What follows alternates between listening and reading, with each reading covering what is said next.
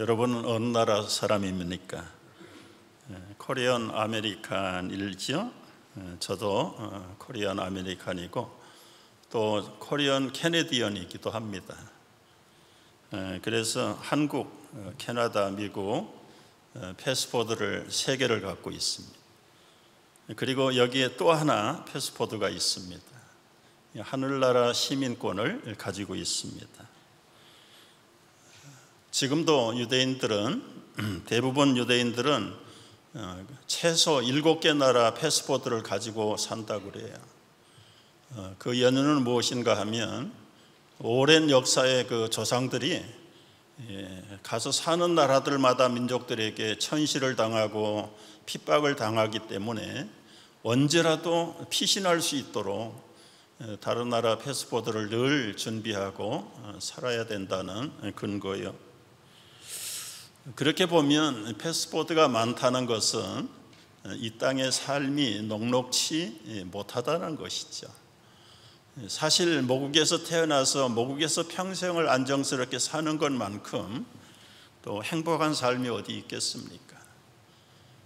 상황이 어려워서 때로는 새로운 환경을 통해서 꿈을 이루겠다고 떠난 사람들이 예, 자연히 살다 보면 패스포트가 많아지는 건 사실입니다. 어, 모국을 떠나서 어, 외국에서 살아간다는 것이 사실은 어려움을 안고 출발하는 것입니다. 예, 어떤 어려움들이 있을까요? 어, 첫째는 외국 생활을 하려면 현지의 언어를 장벽을 초월해야 합니다. 예, 우리가 이민자의 삶을 살지만 익숙하게 초월하지 못하는 언어 때문에 당하는 불편과 불이익이 얼마나 많습니까? 저희 가정은 1988년 한국을 떠나서 캐나다에서 이민 생활을 시작을 했습니다. 가장 먼저 불편한 것이 언어 소통이 잘 안 되는 것입니다. 그래도 얼굴과 얼굴을 마주 보면 뭐 broken English든 예, 바디랭귀지를 통해서라도 어떻게 하든지 의사를 전달을 하긴 하는데 가장 곤란한 것은 집에 걸려온 전화를 받는 일입니다. 전화벨이 울리면 서로 받지 않겠다고 방으로 도망가고 피했던 생각이 지금도 음, 눈에 선합니다. 아들 조셉이 중학교 1학년 동네 마틴 그로브라는 중학교에 입학을 했습니다. 예, 거기는 이민자가 없는 동네라 ESL 아, 클래스도 없어요. 그냥 레귤러 클래스에 들어가서 어, 현지 학생들하고 같은 수업을 해야 돼. 전혀 읽지도 못하고 듣지도 못하고 말도 못하는 아, 이 어린 아들이 예, 겪었을 그 학교 생활의 고충이 얼마나 많았을까. 사실은 도와줄 방법이 없어요. 이 아빠도 어, 외국의 학교 생활을 경험해 본 적이 없잖아요. 그래서 그때는 그저 격려해 주고 용기만 불러 일으켜 주고 처음은 힘들고 어렵지만 잘 인내하고 배워라, 배워라. 사실은 고충이 뭐냐고 물어볼 수, 염두가 안 나. 한 20년 지나서 이제 성년이 됐습니다. 예, 그때 아들을 불러서 한번 물어봤어요. 야, 너 처음에 와서 어, 학교에서 제일 쓰라린 경험이 뭐로 기억되고 있니? 그랬더니 자기도 기억하기 싫은 아주 쓰디쓴 표정을 지으면서 어, 이 얘기를 해요. 첫날 학교에 간 거예요. 어떻게 교실을 찾아갔는지 하여튼 찾아갔는데 첫 시간 수업이 지리 수업이었답니다. 그래서 앉아서 첫째 시간 지리를 잘 들리지도 않고 읽을 수도 없지만 그저 한 시간을 보내고 예, 둘째 수업 시간을 그 자리에서 그 교실에서 기다리고 있는 거예요. 그런데 이상하게 아까 있던 학생들은 다 사라지고 새로운 학생들이 들어오더래요. 그러더니 이제 다른 선생님이 들어오겠지 했더니 역시 첫 시간 지리를 가르쳤던 그 지리교사가 그 수업을 똑같은 수업을 두 번째 시간에 하더라는 겁니다. 아들은 야 뭔가 잘못됐다 이상한 걸 느꼈지만 방법이 없어요. 그래서 하는 수 없이 둘째 시간도 똑같은 지리 공부를 또 들었습니다.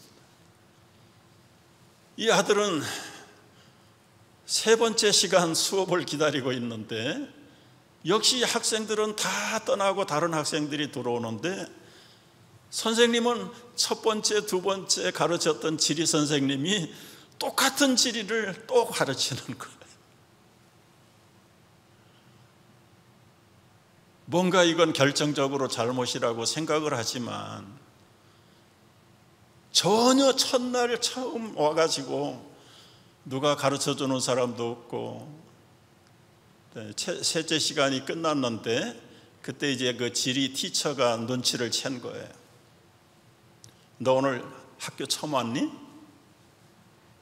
내 시간표 꺼내봐. 이 클래스룸을 찾아가야 돼. 알았어? 언더스탠? 얼떨떨한 표정을 보고 그 말을 못 알아듣는 줄 알고 그 교사가 그 클래스룸까지 찾아줬다고 그래.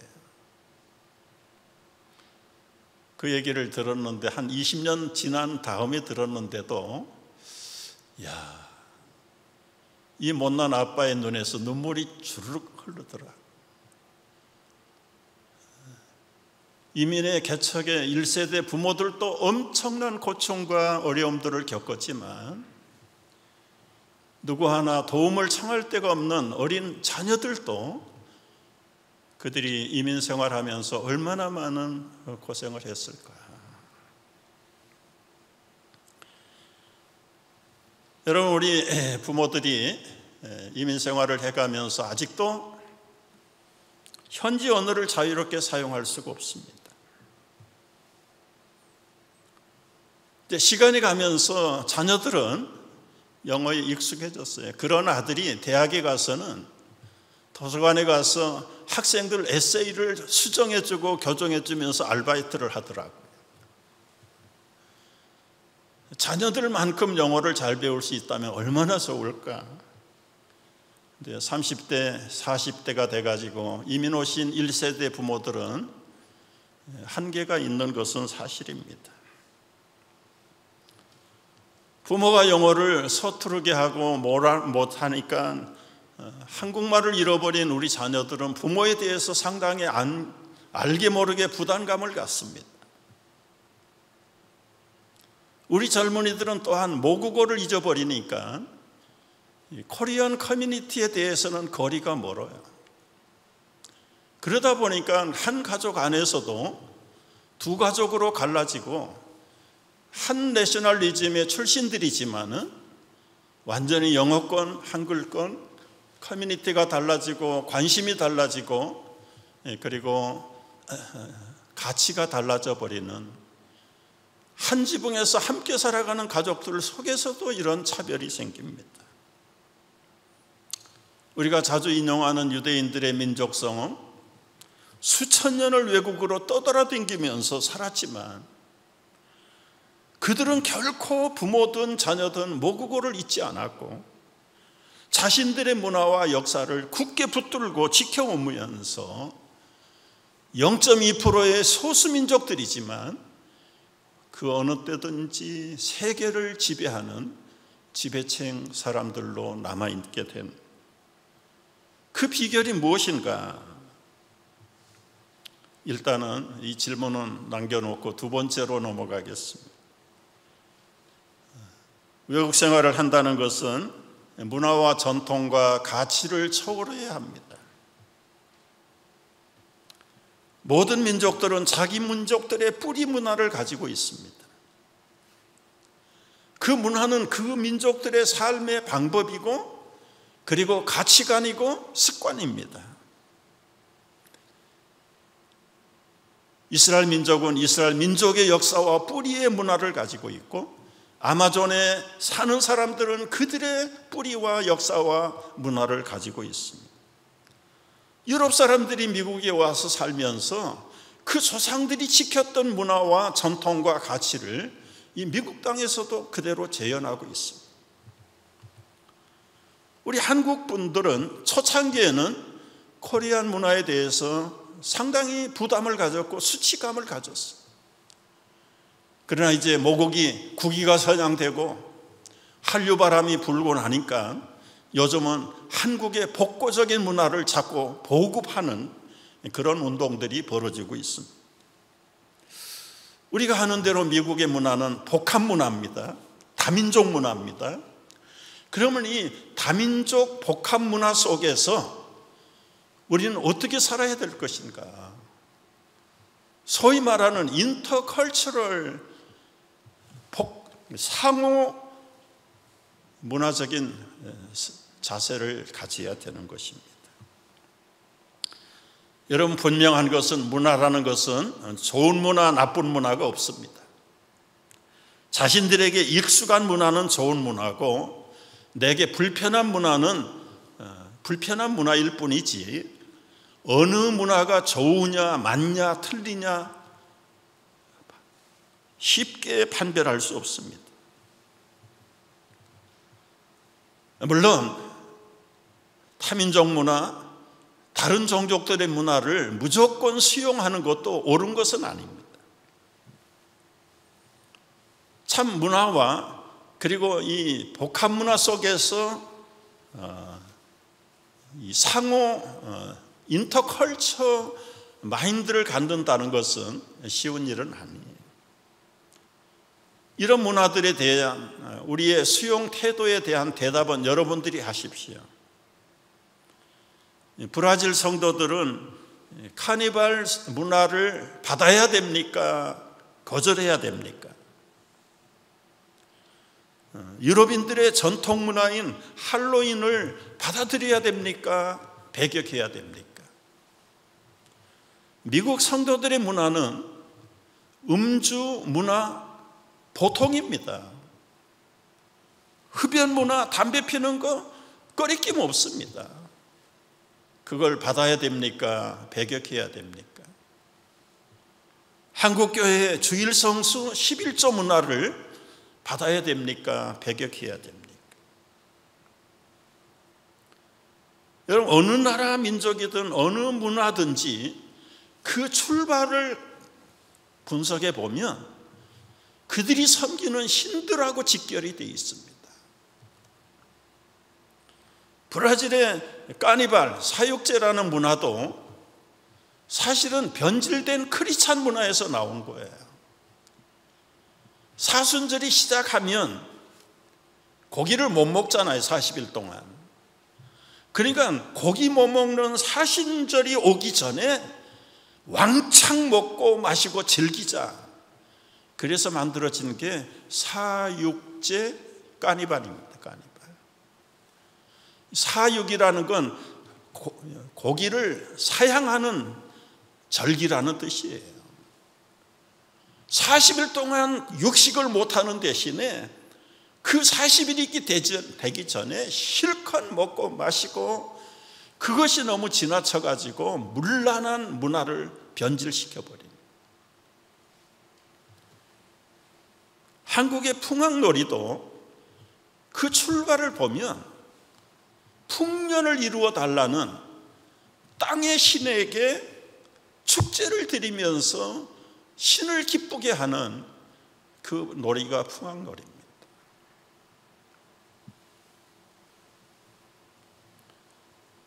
따라서 우리 성도들이 문화의 가치를 구별하고 판단하는 기준은 무엇일까요?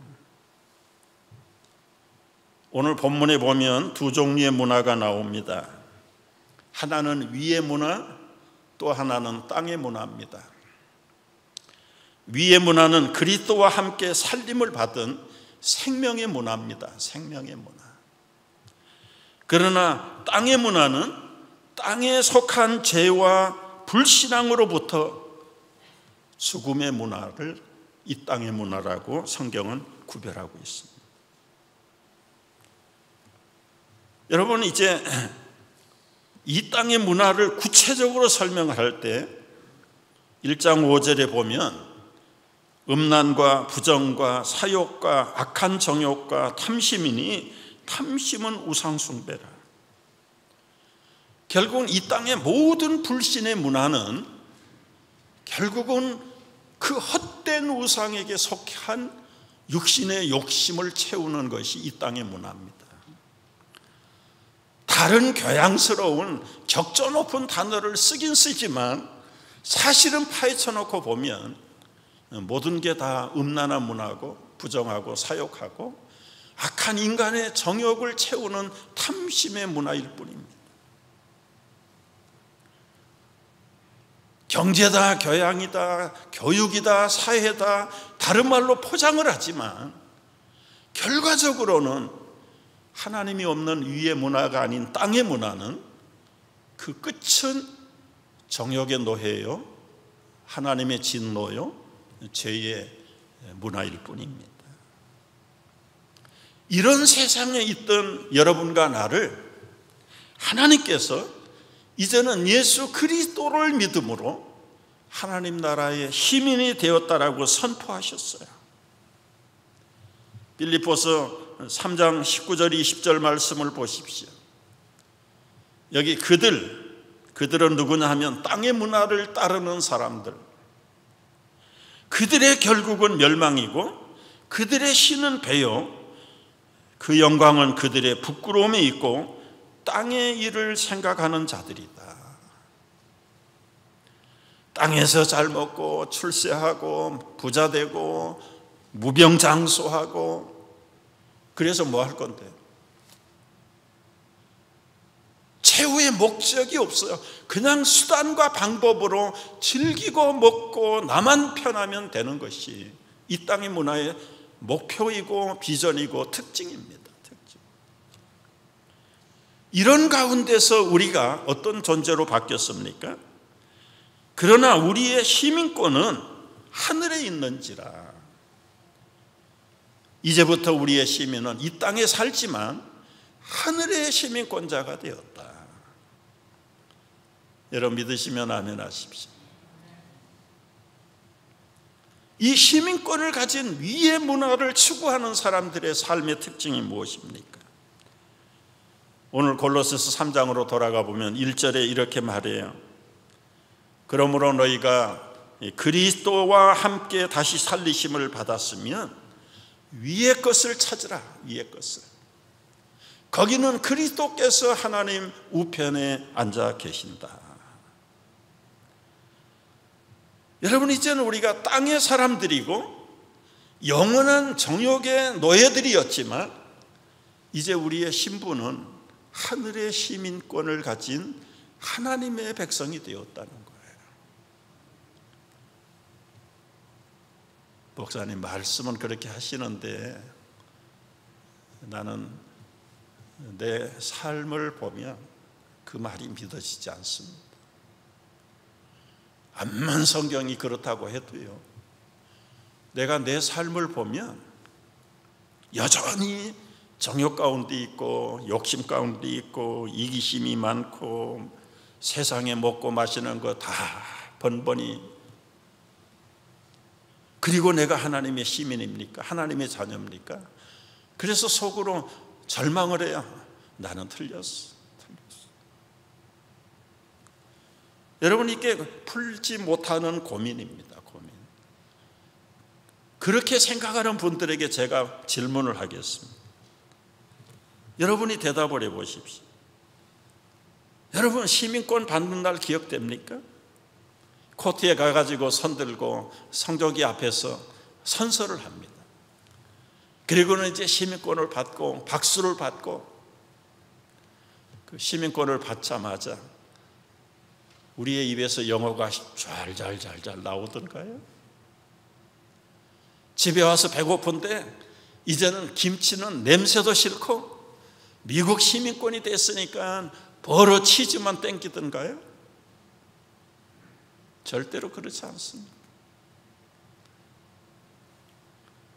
여러분, 미국의 문맹률이 75%예요. 시민들이 아직도 글씨를 제대로 말을 못하는 사람들이에요. 그럼에도 불구하고 시민들이에요. 법적으로는 시민이에요. 이 나라의 질서와 이 나라의 의무와 권리를 혜택을 드리고 책임을 져야 되는 시민들이에요, 시민. 그런데 왜 영어가 아직도 서투릅니까? 왜 미국의 음식이 아직도 우리의 입맛에 한국 음식만큼 땡기지 않습니까? 그건 우리의 뿌리가 지금까지 살아왔던 수많은 세월들 속에서 익혔던 문화와 역사와 전통과 습관에 따라서 법적으로는 American citizen이 됐지만 육체적으로는 여전히 Korean style로 살아왔던 그것 때문에 그러면 앞으로 어떻게 살아야 됩니까? 말씀드린 대로 이 땅의 언어를 배워야 됩니다. 이 땅의 문화와 역사를 배워야 합니다. 그리고 우리의 삶에 새로운 변화를 가져와야 됩니다. 그래서 우리가 이 땅의 언어를 배우듯이 천국의 시민이 되면 천국의 언어를 배워야 합니다. 어떤 언어를 훈련해야 될까요? 말끝마다 과거에는 기뻐서 죽겠고 배고파서 죽겠고 배불러서 죽겠고 그게 생각 없이 살던 옛사람들의 우리 언어의 습관들이에요. 그러나 이제 천국의 언어로 바꾸면 말 한마디 바꾸면 되거든요. 야, 배가 고파서 죽겠다가 아니라 죽게 있다. 기뻐서 죽겠다가 아니라 죽게 있다. 여러분 이 천국의 언어의 차별을 감지하셨습니까? 얼핏 들으면 죽겠다는 말로 들리지만 죽게 있다, 죽게 있다. 기뻐서 죽게 있고 배가 고파도 불러도 이제는 주님께 있다. 우리의 생각의 변화를 시도해야 됩니다. 그래서 오늘 2절에서 말씀이 뭐냐면 위의 것을 생각하고 땅의 것을 생각하지 마라. 우리가 천국의 시민으로서의 새로운 습관, 문화를 만들기 위해서는 가장 중요한 게 우리의 생각을 바꿔야 돼. 생각을 바꿔. 내가 비록 이 땅에 사는 천국의 시민이지만 아직은 서투르는 시민이다. 그래도 법적으로는 하자가 없는 분명한 하나님의 왕국의 시민인 것을 믿으시기 바랍니다. 위의 것을 늘 생각을 해야. 과거에는 위의 것을 보지 못했습니다. 기껏 본다는 것이 땅을 보며 살았던 사람들이에요. 그러나 이제 3절에서 말씀한 대로 이는 너희가 죽었고 너희 생명이 그리스도와 함께 하나님 안에 감추어졌습니다. 감추어졌습니다. 이제는 이중 시민권을 가지고 있는 거예요. 우리가 이 땅에 살면서도 어, 위에 하나님의 나라의 시민권을 가지고 사는 이중 국적자들입니다. 이중 국적자. 하늘 시민으로서 가장 먼저 힘써야 될 게 무엇입니까? 우리가 속한 하나님 나라의 질서와 하나님 나라의 지도를 따라야 되는 것이지. 그렇게 살 때에 그 백성들에게 주시는 특권이 뭔가? 여러분, 이 땅에서도 어느 나라 시민인가에 대해서 돌아오는 혜택이 하늘과 땅 같아요. 예를 들어서 비교를 해보세요. 북한이나 아프가니스탄에서 태어난 그 나라 백성들은 그 나라에 태어난 죄밖에 없어요. 그런데 태어나면서부터 죽을 때까지 절망과 비극밖에 없잖아요. 그 백성들이 무슨 죄가 있습니까? 죄라면 그 나라 사람으로 태어난 것이 죄지. 우리가 이 미국 땅에 살면서 온갖 혜택과 보호를 받는데요. 무슨 자격이 있습니까? 영어도 제대로 못해. 이 나라 문화, 역사도 잘 몰라. 우스갯소리 한번 들어보실래요? 시민권 인터뷰로 간 할머니, 미국의 초대 대통령이 누구신가요? 그랬더니, 저 워싱턴 브리치. 워싱턴 브리치. 그래도 합격을 시켰. 그런데도 미국 시민권을 자격을 줄 거예요. 여러분 사람이 어느 나라 국적을 가졌느냐에 따라서 돌아오는 혜택이 하늘과 땅입니다. 하늘과 땅이. 우리가 잘 아는 이면수 목사님 간증에서 나온 이야기입니다. 그는 지난 20년 동안 북한을 100번 이상을 왔다 갔다 하면서 뭐 경제적으로, 사회적으로, 의료적으로, 교육적으로 엄청난 혜택을, 사랑을 북한에 쏟았어요. 쏟았어요. 그러던 어느 날 갑자기 억류를 해가지고 죄인으로 취급을 하고 종신 강제 노동형을 언도했습니다. 병이 들어도 병원에도 보내지도 않고 겨우 죽을 정도가 되면 병원에 보내고 31개월 동안을 종신 갇혀야 되는데 31개월 동안 중노동을 했죠. 중노동. 그리고는 석방이 됐는데 본인 입으로 그렇게 얘기하더라고요. 내가 왜 석방이 됐는지 모르 아는 것 하나가 있다면 자기가 캐나다 시민권을 가졌기 때문에 전 수상도 얼마나 힘을 쓰는지 수상이 바뀌었어요. 새로운 수상이 됐는데도 자기 국정 운영의 일본으로 이 목사를 구출하는 것을 백성들에게 선포를 하고 북한 당국을 향해서 우리 시민을 석방하지 않으면 국교를 끊어버릴 것이고 당신들의 나라를 국가로 취급하지 않을 것이고 모든 무역을 다 막아버릴 것이다. 통보를 받은 북한이 불이익을 당할까봐 놀래가지고 받을 손해를 생각하니까 임목사 한 사람 풀어주는 건 뭐 별 문제가 본인도 15분 전에 알았대. 석방되는 걸 15분 전에.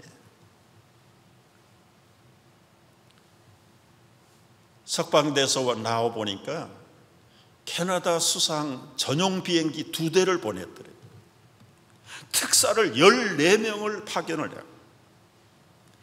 아프가니스탄에서 수술하는 외과 캐나다 의사 두 사람들을 불러다가 비행기에다가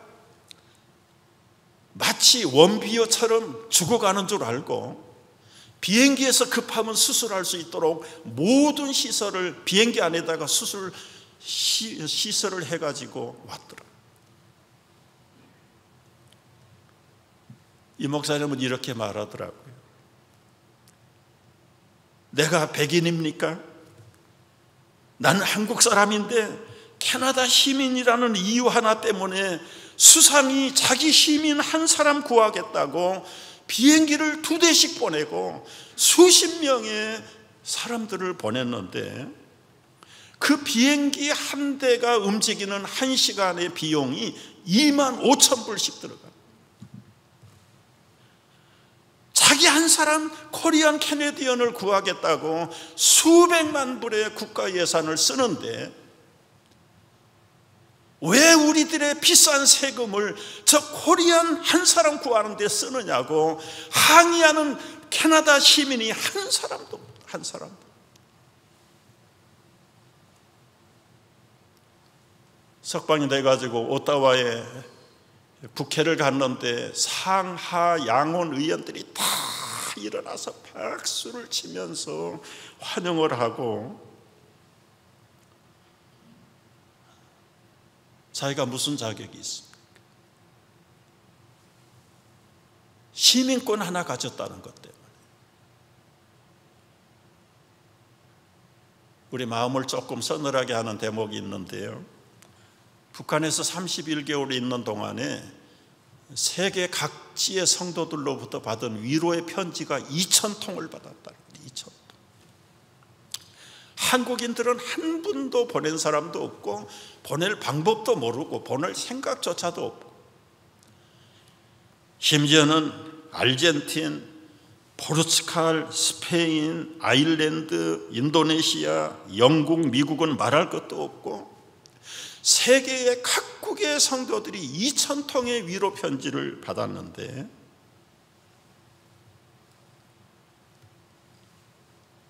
(500년) (1000년) 기독교 역사를 가진 나라 성도들은 얼굴도 이름도 모르는 같은 형제가 북한에 갇혔다는 것 하나만 가지고도 그렇게 내 민족 같은 하나님 나라 백성으로서의 사랑을 베푸는데 본인이 얼마나 감격을 했는지 몰. 여러분 이 미국은 어떻습니까? 미국인 3명이 북한에 석방되었을 때 저들도 다 한국 출신 목사님들이 있어요. 미국 시민권을 가졌기 때문에 여러분 폼페이오 국무장관이 북한에 갔어요.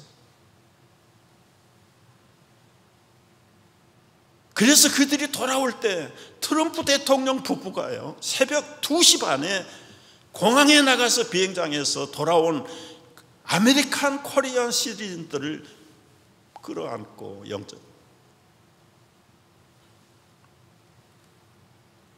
이것뿐만 아니잖아요. 그 전에도 클린턴 대통령이 가서 데리고 왔어. 카터 전 대통령이 가서 북한에 억류된 사람을 또 데리고 왔. 우리가 볼 때는 다 한국인들이에요. 그러나 American citizen은 하나 가졌다는 것 때문에 국가가 대통령이 한 나라 백성을 살리겠다고 전직 대통령들을 다 동원해서 살리는 우리가 이런 미국에 살고 있다는 것이 얼마나 큰 축복인가요? 그런데 이제 천국 시민이 되면 장차 어떻게 될까요? 오늘 말씀 보십시오. 영원한 생명을 구할 뿐만 아니라 빌립보 3장 21절에 보면 우리의 낮은 몸을 자기의 영광의 몸의 형체와 같이 변하게 하실 것이다. 여러분 대통령이 나서서 국가가 나서서 그 많은 생명들을 구했지만 이 땅의 패스포트는 다 익스파이어가 있습니다. 이 땅의 생명들은 언젠가는 끝나요. 그러나 하늘 시민권의 패스포트는 익스파이어가 없어요. 시간이 가면 갈수록 영광의 몸의 형체와 같이 변하게 하신다.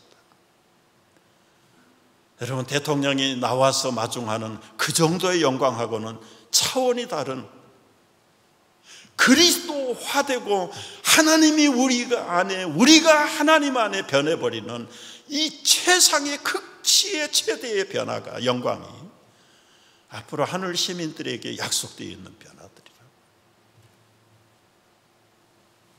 여러분 이것을 믿으십니까? 그렇다면 우리가 어떻게 살아야 됩니까? 이 땅에서 그 위의 것을 찾으면서 그 영광의 변화될 그날을 그 나라를 그 임금을 생각해 본다면 우리는 이 땅에 살아야 될 삶의 방법과 철학이 이미 결정돼 버리는 겁니다. 3장 5절에서 말한 대로 땅에 있는 지체를 죽이라 음란이나 부정이나 사욕과 악한 정욕과 탐심 이런 우상 숭배로부터 완전히 십자가에 못 박아 버리고 이제는 3장 1절에서 거듭 말씀한 대로 너희가 그리스도와 함께 다시 살리심을 받았다면 위의 것을 찾고 거기에는 그리스도께서 하나님 우편에 앉아 계시는데 그 나라를 생각하고 사모하고 그 나라에 갈 영적인 준비가 크고 작은 일들 속에서 하나씩 하나씩 매일 시간마다 못 박아야 될 정과 욕심은 십자가에 못 박. 그리스도화 돼 갈 그 영광을 사모하면서 우리가 이 땅에 비록 살지만 하나님 나라 시민으로서 힘차게 믿음으로 전진해 나가는 하늘나라 시민들 되시기를 주의 이름으로 축복합니다.